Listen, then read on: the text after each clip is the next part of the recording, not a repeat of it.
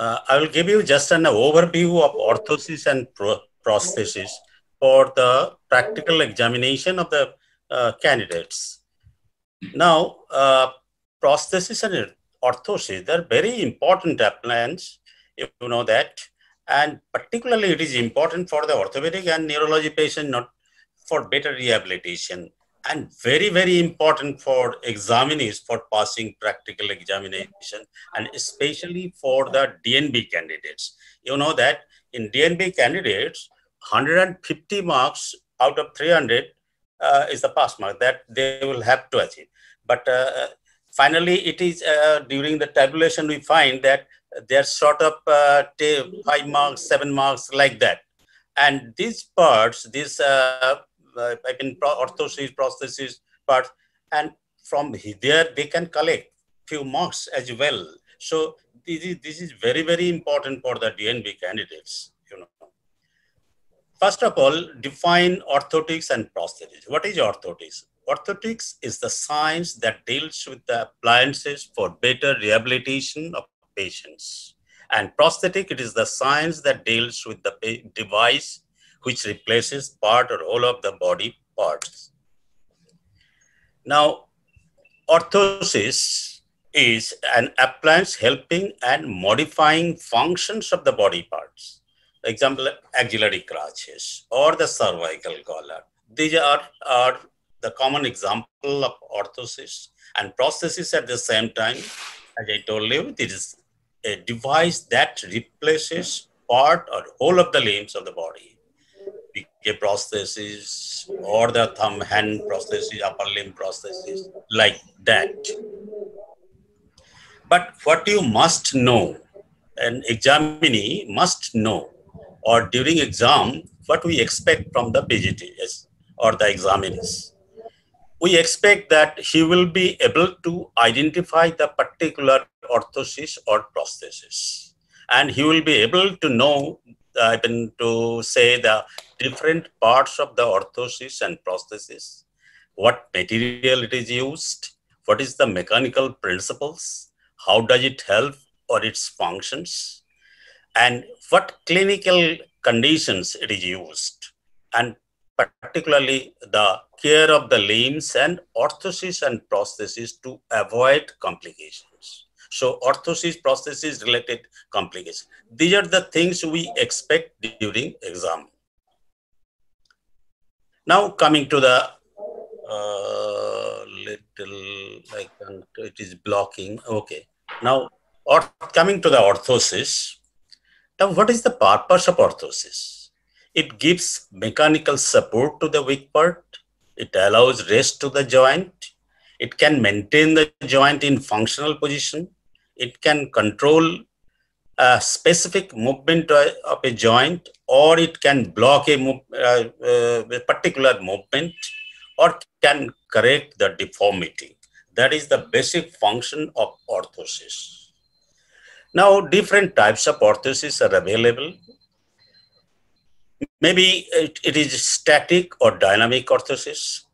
When we call it a static orthosis, that means it does not permit any joint movement but the dynamic orthosis that has a mobile unit which allows the movement. For example, dynamic cock-up splint. In dynamic cock splint, we uh, fingers we can flex the fingers, can move the, and on the basis of the regions where it is used, regional orthosis, we can categorize lower limb orthosis, upper limb orthosis, and spinal orthosis. We are coming to that. But uh, we must know that what is good orthosis or ideal orthosis? What are the criteria? It must be patient friendly, number one. Number two, easy to handle. It should serve the purpose for which it is used. It must be lightweight, it have, and cosmetically good and should not damage the local skin conditions. That is a, very important because after using so many times, we find that there are a lot of skin uh, problem. Now coming to the foot orthosis. Here, different uh, surgical shoe, we know, this is a very common thing. We uh, put it in exam table. uh, different parts of the components of the surgical shoes.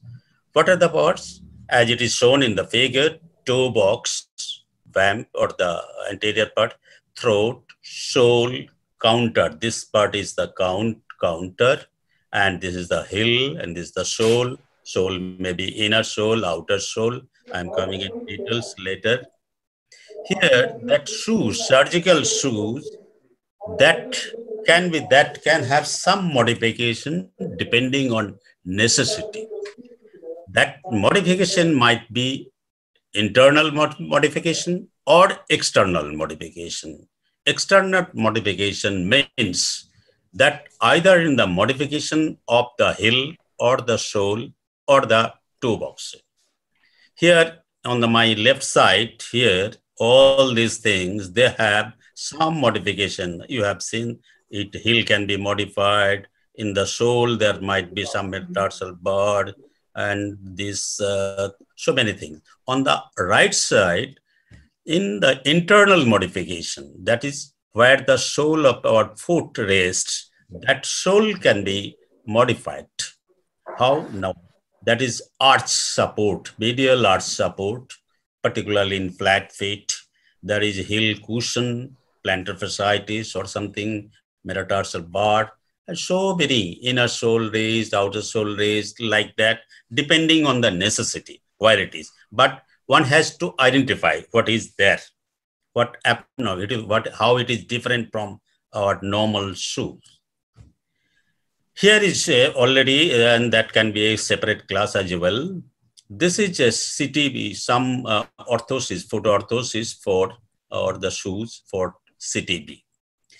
Two common things, or the very often it will be asked, or I would request our pages that Pons here, Ponseti, this is a Denis Browne uh, shoes and abduction brace has been shown here and different types of Talipes shoes.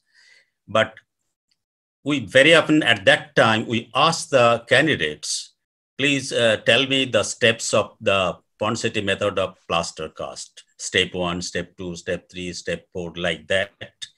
And when would you consider that abduction brace should be uh, now uh, he can use at the same time, we would request Aiton to go for the Pirani score. What is Pirani score? Is there any relevance with the uh, I mean, prognosis of the um, treatment? And how much is this bar, curved bar? Here it is bar. What should be the length? It should be the both the shoulder width. These are the few things very often it is asked in the I mean, uh, exam. So these parts to cover and go in details. Next is the AFO, that is ankle foot orthosis. These are the different uh, parts, basic things we should know that this is the foot, this is the ankle, this is the upright or the stirrup, and this is the cup band. This is the basic structure of the AFO or ankle foot orthosis. It is used in some ankle problem, the instability, some ankle sprain, etc., or the paralyzed conditions. Here, AFO, conventional type, and this is the total contact. You see the total contact here. Now, in context with that will come, this is very often put it in exam table, FRO, we will call it, floor reaction orthosis. Very often one question is common. How does it work? What is the principle? We would be happy if the candidate answered it is newton said newton's third law works here. What is that? No it prevents knee from buckling without muscle action or control here you see this is the afo and the the foot portion is kept in little equinus and here it is a suprapatellar band. It is uh, used in the unstable knee, particularly used in CP, spina bifida, or the spinal cord injuries like that. So when patient is trying to stand, the knee buckles. So how it is prevented? Now, when the body weight falls, the if uh, body weight is on the on the uh, in, um, floor, a reverse action or the force, a, a force is directed upwards and immediately hits the uh, uh, suprapatellar band that pushes the knee to back backwards, and at that time it becomes st stable. So that is the Newton's third law works here in floor reaction orthosis. That is important and that question is usually asked. Next, the knee orthosis. Knee orthosis, what is that? No, it is in unstable knee or the ligament injury around knee or periarticular some fracture, undisplaced fracture. It immobilizes the knee. It extends from mid-thigh to mid-leg region. Different types are there. It is locked, statically locked, or can be locked uh, by some other devices. Next comes the knee, ankle, foot orthosis, or KAFO, commonly it is called the KAFO. What are the parts? Components are surgical shoes, ankle joint unit, uprights, the knee joint unit, knee here it is knee joint unit, and the knee uh, cuff and thigh band and proper padding of course up here. It keeps the knee in straight position in different situations, clinical conditions much higher up. If the pathology is much open, if you want to keep raised to the hip joint as well, then what to uh, then what to do? Then uh, what we do that uh, components are surgical shoes, ankle, same as that. In addition, there is cuff and thigh band and pelvic band is there, and it keeps the knee and hip unit steady. And the special orthosis, lower limb orthosis, or that, that is the abduction orthosis. We very often prescribe for partnership for the containment of the head. Coming to the upper limb uh, prosthesis. Yeah. Upper, upper limb uh, orthosis, rather, it is not prosthesis hand orthosis, it is uh, wrongly written, prosthesis, not uh, it is orthosis. Hand orthosis, wrist orthosis, elbow orthosis, shoulder orthosis, and spatial some orthosis. This is one very common mallet, it is small in, uh, it is kept in that exam table, mallet splint, mallet finger we know. We'll be, we will ask the uh, candidate what is mallet finger, how it helps, and how long we'll keep it at least six to eight weeks or more than that. Sometimes you'll have to keep it. This is dynamic cock-up splint. This is dynamic cock-up splint uh, because some movements are permitted in the MP joint and the wrist as well. Then what are the parts? You may be asked, this is the wrist support at what angle? It is a 45 degree angle. There are some elastic loop two fingers, properly padded. These are the parts.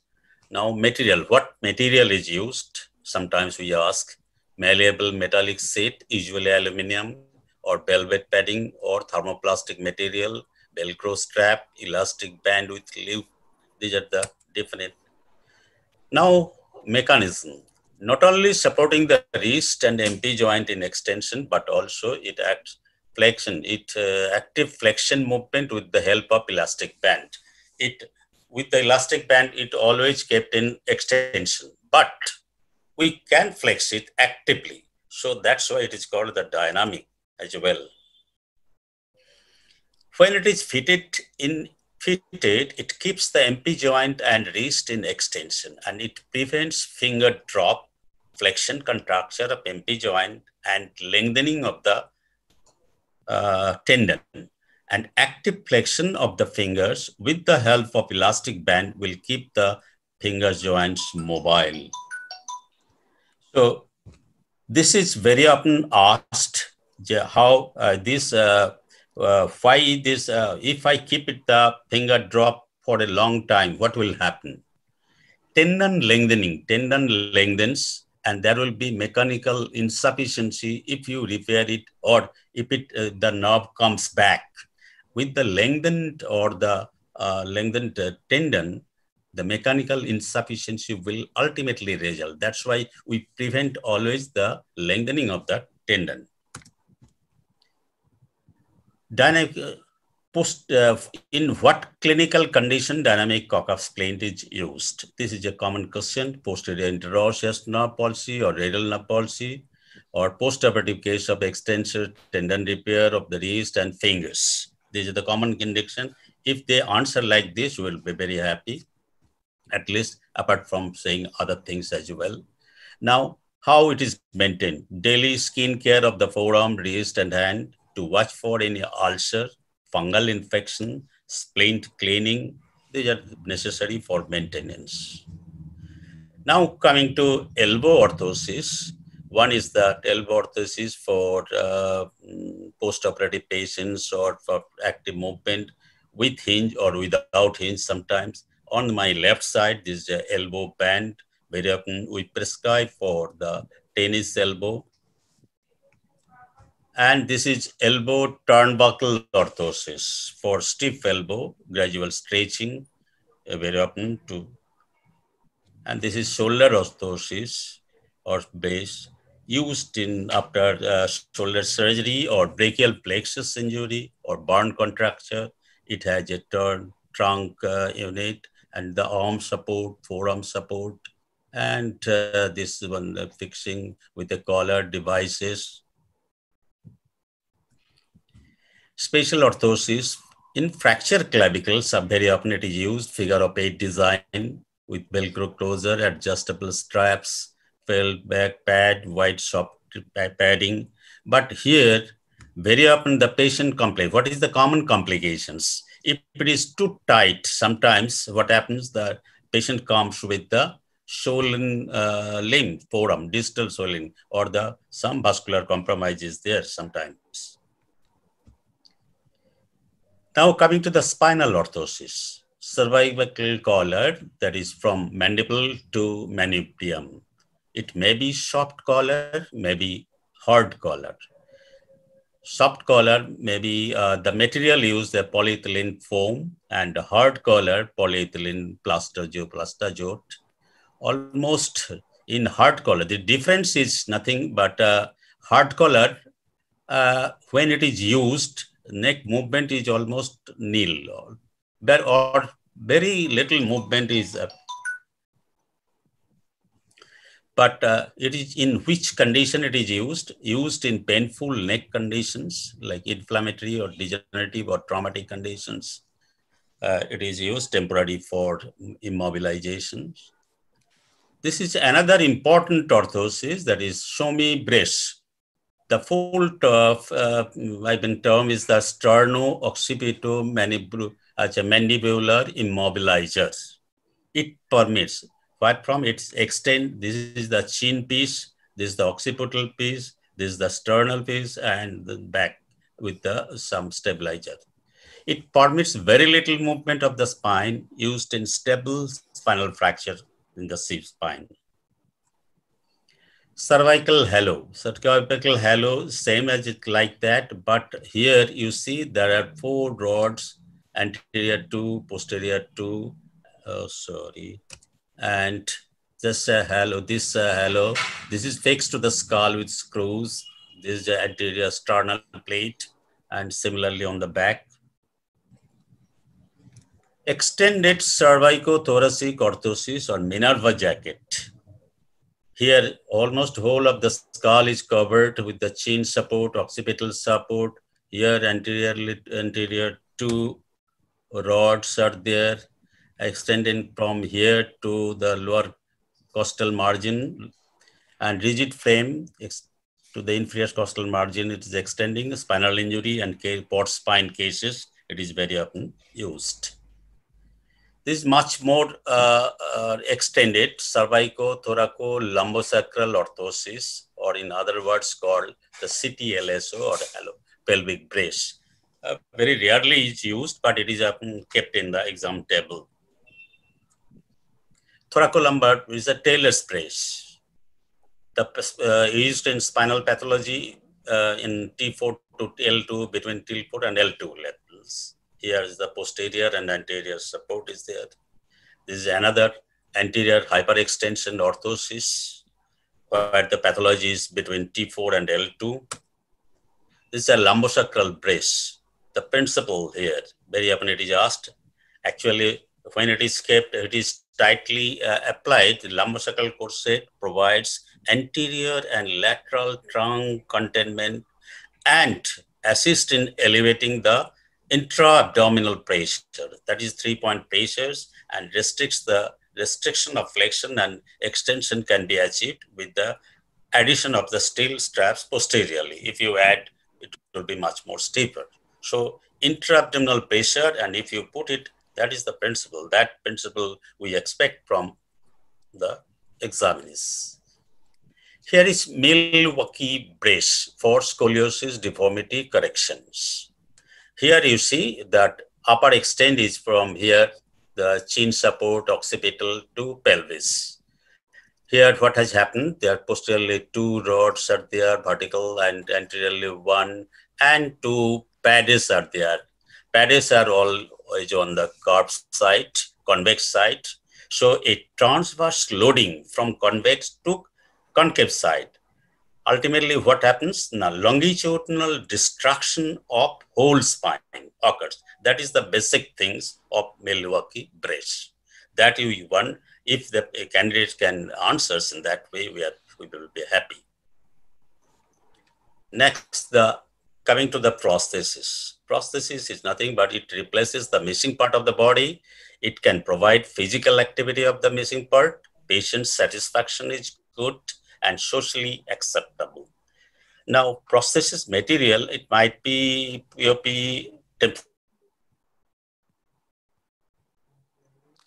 and alloy, different fabrics. But what is good prosthesis? Once again, that must be lightweight, functionally good, and patient friendly. Next, prosthesis of the lower limb. Based on fabrication, prosthesis may be exoskeleton prosthesis, endoskeleton prosthesis.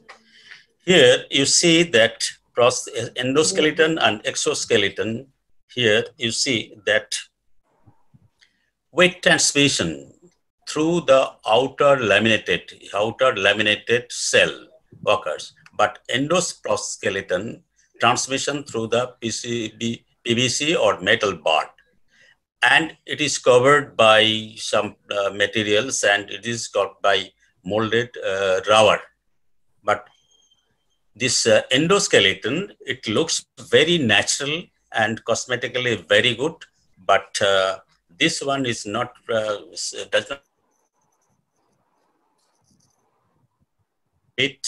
So this is, but, but this has come some mechanical problem as well. But one advantage is that endoskeleton, this is an adjustable bar. We can uh, adjust the height as well. This is about the exoskeleton. Prosthetic foot. So in uh, lower limb prosthesis, important aspect is the prosthetic foot, prosthetic foot, that sound, and the socket in below knee prosthesis. So coming to that, lower limb prosthesis and above knee prosthesis, apart from the surgical, I mean the prosthetic foot that we need the knee and the socket in above knee prosthesis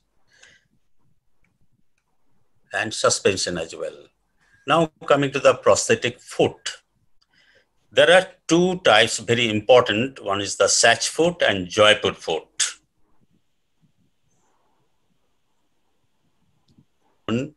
But Jaipur in Indian, Indianized for Jaipur foot, but it has got some uh, foot. You know, the SACH foot, uh, it is a whole term is solid ankle cushion heel. It is most commonly used foot, but it has no mechanical ankle joint the cushioned heel stimulate, stimulates the plantar flexion motion. Here it is, and it is heavy very. But this Jaipur foot has a lot of advantage. It modification for barefoot walking made of uh, vulcanized rubber and shaped like normal foot. It is flexible and is helpful in walking on uneven surface. That is important. So technical, some difference there between the SACH foot and our joy foot here. Prosthetic shank. Now uh, we have already described the endoskeleton and exoskeleton. Endoskeleton and exoskeleton. Endoskeletons and weight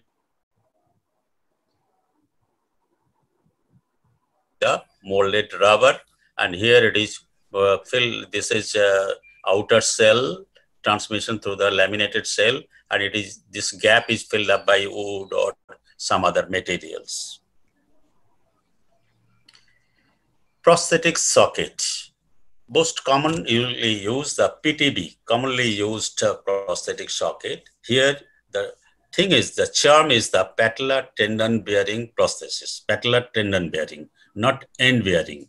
All the weight bearing is done below knee. Movement is controlled by his own knee joint and patellar tendon is the main weight bearing area within the socket.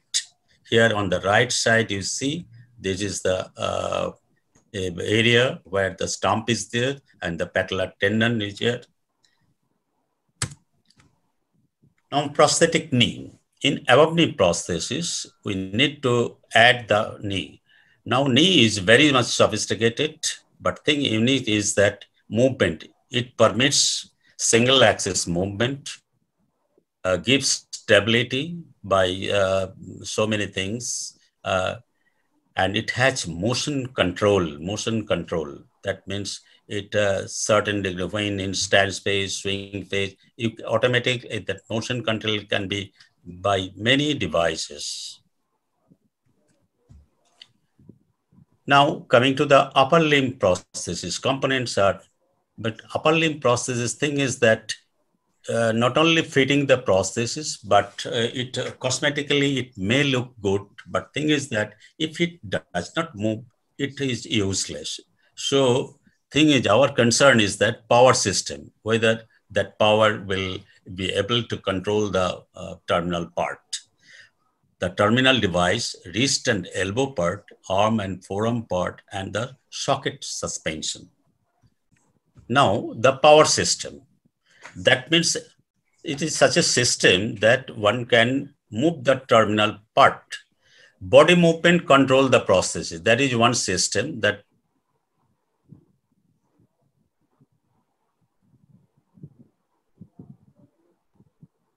myoelectric prosthesis. Myoelectric prosthesis, that is the action potential of muscle is used to, I mean, uh, to uh, control. Here, there are some batteries, some electrical things, and motor is there, and that helps in uh, movement of this thumb and other fingers so that some activities will be allowed, and that is very, very important. Here is an example, myoelectric limb. You see that even the finer things, finer work can be done with the help of this myoelectric limb. Now, few axillary crutches, that is some walking aid. Very often we ask that tell me the different parts of the uh, axillary crutches. Axillary pad, that is the in which it in the axilla. Second is the upright, here it is. Next is the handpiece, here it is. Adjustable rod, here it is. And the rubber ferrule at the crutch tip, some adjustable the important thing is that crutch tip, crutch tip where it should be when we are walking. I'm not talking about the gait gait will be the separate thing. Crutch tip, it should be front and lateral to the toes. And handpiece should be uh, rested in such a height that elbow uh, will remain at 30 degree flexion. And axillary pad, that will be 5 centimeter below the anterior axillary fold. And if I ask, how will you take the measurement of axillary crutch? There are two methods. One method, if it is standing from axillary fold to the tip, but that crutches should be, uh, I mean, limb should be, it should be 15 centimeter away lateral to the toe and five centimeters in front. At that stage, you take the length from axillary fold to the bottom up to the crutch tip. That is one method. Our second method is that if the patient is from axillary fold, five centimeter below the axillary fold to the uh, bottom of the heel of the shoe uh, in supine position. That is the measurement of the axillary crutches. Coming to the elbow crutches. Elbow crutches is that height of the elbow crutches. That it will height will be such that the patient will be able to put his hand in 30 degree of full, I mean uh, elbow flexion. And the forearm cuff is there. This is the forearm cuff. It will be here. It will be placed here. It is the flexion crease. It should be away from that, at least five centimeter away from the flexion crease. And crutch tip will be away from that uh, toes, I mean lateral to the 15 centimeter uh, lateral and front of the toe.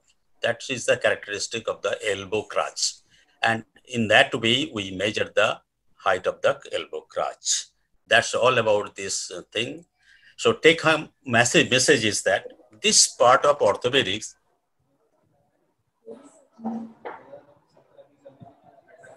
in daily orthopedic practice. And it is better to prescribe orthosis and prosthesis in treatment sheet in correct way to increase the confidence level. Very often we ignore it, even in the exam. Even the examiners also have tried to avoid prosthesis and orthotics. Teachers also avoid, try to avoid teaching prosthesis and orthosis. But it is good for the patient as well as for the examiner. Thank you very much.